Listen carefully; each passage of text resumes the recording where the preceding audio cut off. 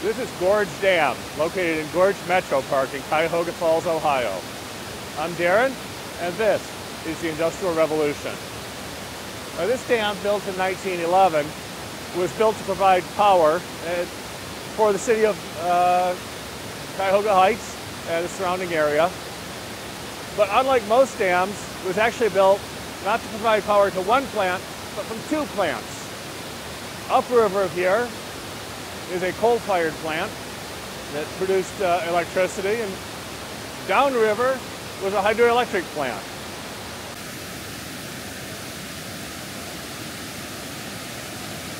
The dam was built in 1911 to provide water for not one, but two power plants. It's 57 feet high, 42 feet wide, and was built with reinforced concrete a somewhat unusual buttress style. The vertical downstream face and a sloped upstream face, and of course the large waterfall-like spillway in the center.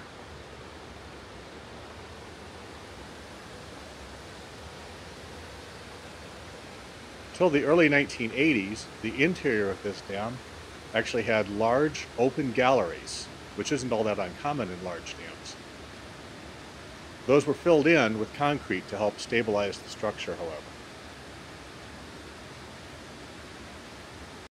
One power plant, built on the reservoir, was a large coal-fired power plant which burned around 100,000 tons of coal a year until it was closed in 1991. Nothing but a fenced-off concrete slab is left of that power plant today, as they prepare to use it as a staging area for the dam removal. But we do have some historic photos. The lower plant is actually much more interesting, and there's still some things to see there. Let's go take a look.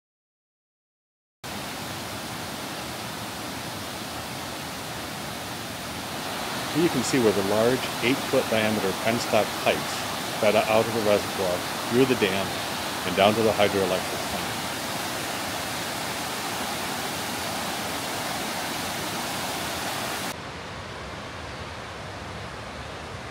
All the good stuff, though, is over on the other side of the river. Let's go for a walk.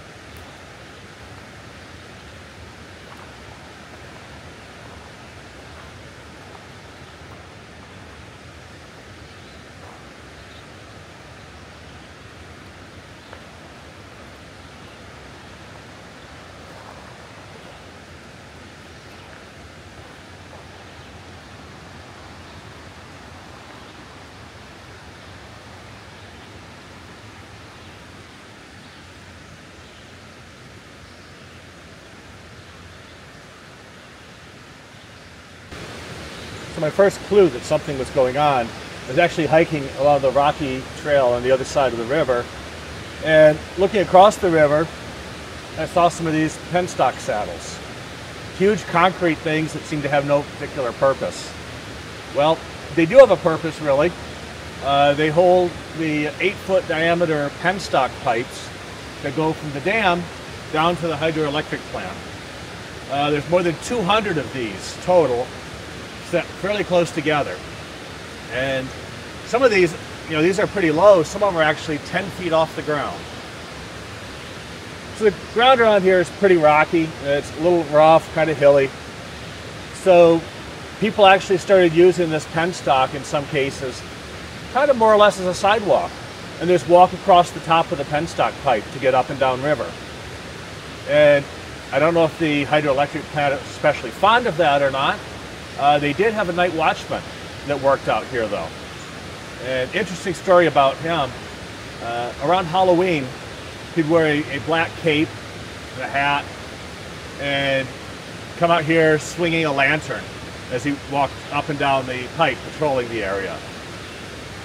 So today everything's surrounded by, by trees, but back when the, the plant was in use, when he was doing this, this was pretty much cleared so people in the surrounding houses could actually see this, you know, black-clad figure swing, swinging this uh, lantern. So, must have been a lot of fun for the kids.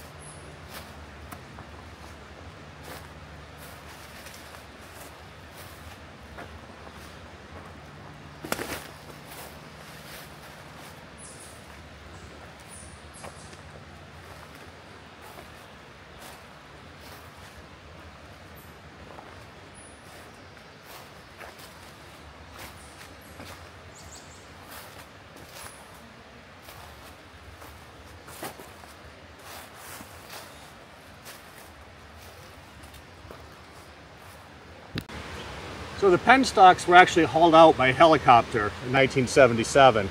Uh, these weren't easy to put in, and when they were put in, of course, you didn't have all the concrete here. You just cut a road through, and looks like they may have missed a piece. Uh, this appears to be a piece of the original penstock pipe, about a quarter inch thick, and you can see um, how broad this curve is.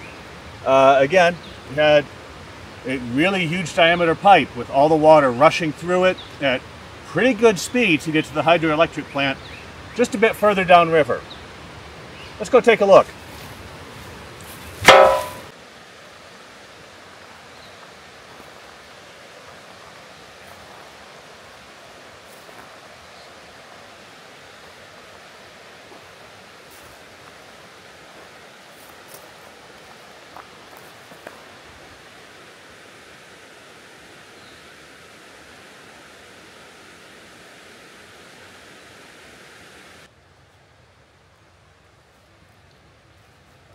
Welcome to Gorges Hydroelectric Plant.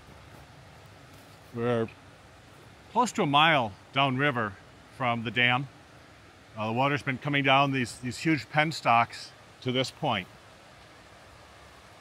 Now, why would you build it so far downriver? And the answer, quite simply, is we've been following rapids down the Cuyahoga River the entire trip. That means that not only do you have the depth of the dam, you have all of that additional drop. You see there's not a whole lot left. The penstocks traveled up across this elevated platform and channeled into these big turbine housings here. Turbine housings uh, would generate the electricity. Most of the plant is gone. The turbine housings were just too big to take away, apparently.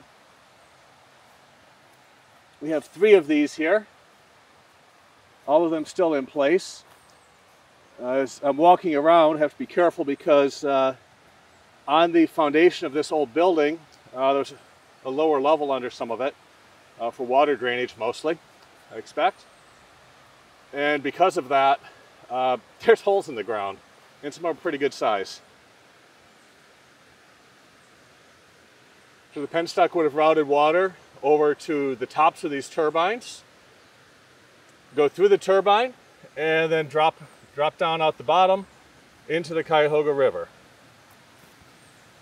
And from here, it's a pretty short trip to the river, as you can see.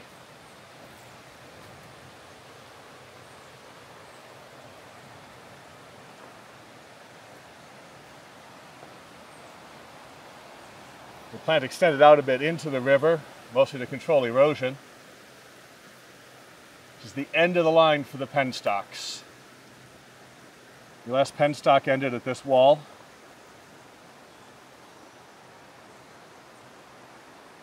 with it routing into the final generator.